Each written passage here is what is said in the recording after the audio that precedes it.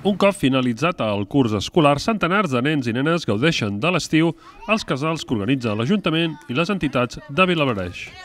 Uns 200 nens participen als matins actius i al casal municipal amb multitud d'activitats tan lúdiques com formatives durant aquests dies. Unes activitats per gaudir d'uns merescuts dies d'esbarjo i que serveixen per trencar els horaris i la rutina de la resta de l'any i acompanyats d'amics i amigues. Els casals, com cada any, s'han organitzat per grups d'edat per tal d'adaptar les activitats a cadascun, però els diferents casals municipals no són els únics que es realitzen a Vilabreix.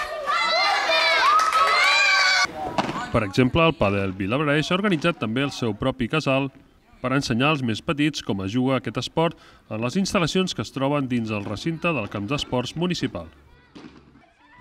Aquí mateix hi trobem també el casal del Futbol Club Vilabreix, amb un gran nombre de participants que aquests dies han rebut la visita del jugador del Girona Futbol Club, Pere Pons, amb el que han pogut parlar-hi.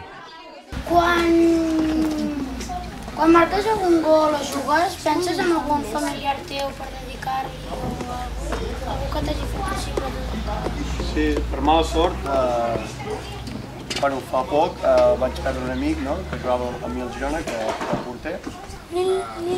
Sí, i després també n'he perdut un altre per mala sort quan érem petits, quan érem infantils o així.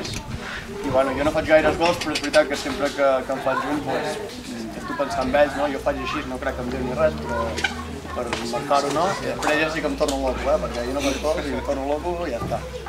Però sí que primer penso en ells. I al pavelló hi podem trobar les activitats que organitzen el casal del Club Rítmica Vilabreix, on cada dia aprenen coses noves amb tallers i activitats esportives.